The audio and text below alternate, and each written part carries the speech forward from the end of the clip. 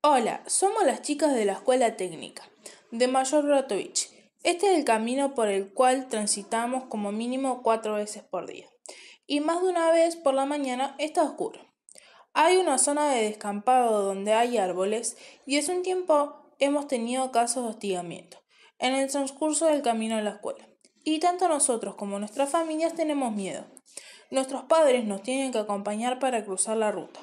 Este camino es de 2 kilómetros aproximadamente. Es así que proponemos como solución hacer un sendero con iluminación LED y pantallas solares con fotocélula y un puente que nos dé seguridad a nosotros y a nuestros padres para poder cruzar la ruta.